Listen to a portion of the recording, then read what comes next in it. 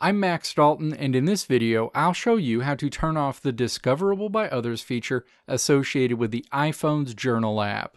In late 2023, Apple rolled out the Journal app for iPhone. As part of that, by default, there is an associated feature called Discoverable by Others. While the feature sounds like it could be an invasion of privacy and either share your data or let other people see where you're at, that isn't the case at all.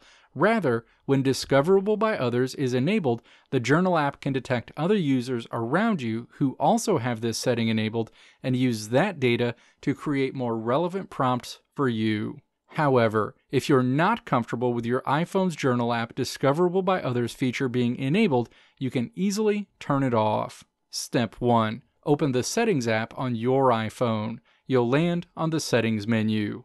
Step 2 Scroll down this menu and then tap Privacy and Security. The Privacy and Security screen opens. Step 3. Scroll down this menu and then tap Journaling Suggestions.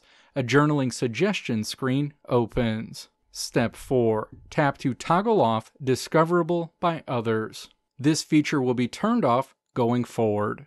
Let me know if this video helped you out in the comments below. If you liked what you saw here, click the video links on the right side of the screen to check out another video, or click the logo on the left side of the screen to check out my tutorial website at www.maxdalton.how.